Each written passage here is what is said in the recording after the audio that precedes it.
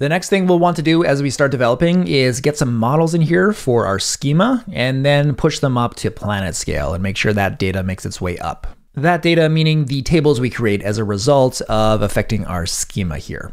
So I think we'll just keep things simple here. Let's create just a really simple data model, maybe two models. So the first one, let's call it customer. Model customer needs an ID. Let's make that a string, and it's the primary key here for this table. Let's have it default to a CUID, which is a collision resistant unique ID. More on that, more details on that in the Getting Started with Prisma course. Let's give the customer a name. That will be a string, maybe something like email, string as well. And then of course I like to do created at, which is a date time, defaults to now and updated at, which is also a date time. And we can use this annotation here, updated at, which will automatically update this value whenever an update operation is made. Okay, so let's now get a second model. Let's make this one called invoice. Invoice needs the same stuff to start with, an ID, defaults to CUID, same thing. I'll actually just copy over these two because we want these on every model and we can do it just easily by copying and pasting.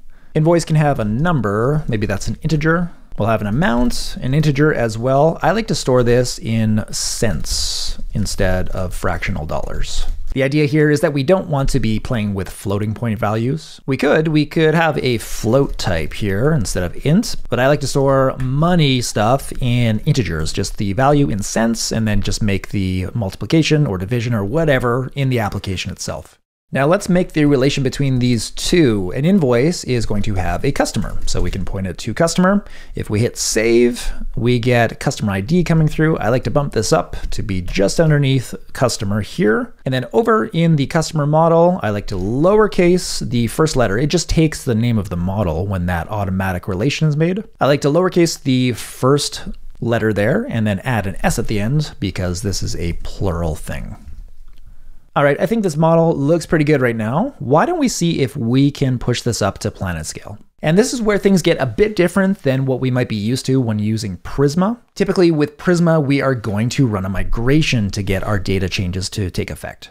To do that, we might do npx prisma migrate dev, and that would get us a migration file generated here in our development environment. And then when we push our code up to production, Prisma would be responsible for running those migrations. It's a bit different with PlanetScale. The idea with PlanetScale is that we aren't going to deal with migration files at all. The philosophy even of PlanetScale is that migration files are not really what we should be using. And that's because PlanetScale itself as a platform is responsible for allowing us to change change our data models, so affect the state of our database through branching and merging. So just like we would cut a new branch in our code repository and push that branch up to GitHub and then open a pull request, the same model applies to PlanetScale. And it's for that reason that we don't need to deal with migration files through Prisma. So the recommended approach instead is to use Prisma DB push. We are connected to our database, or at least we should be, and what we can do is npx prisma db push.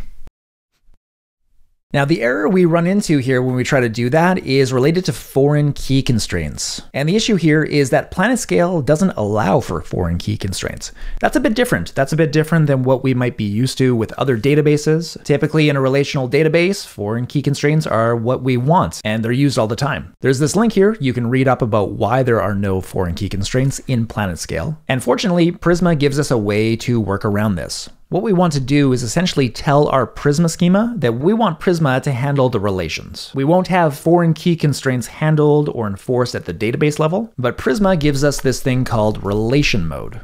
We can do relation mode Prisma, and this is going to tell the database not to worry about foreign key constraints. That's just all handled through our database client here. Okay, so let's try running that again. We'll clear this away and do, once again, npx prisma db push. Before we do that, we should save this file, and make sure that's saved. And after running that, we get the database is already in sync with the Prisma schema, and we've got our Prisma client generated.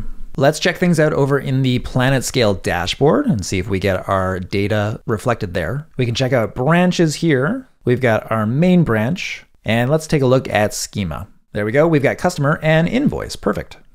We did get a note here in the overview that we don't have a production branch. Once we have a schema in place, we should promote a branch to production. Generally, what you'll want to do is promote main to production. This affords it some benefits like protected from direct schema changes. That's a good thing. High availability, automatic scheduled backups. That's what we want for our production environment. Later, we're going to branch off of main to make some changes, and then we'll deploy those changes up against main. So let's promote that branch.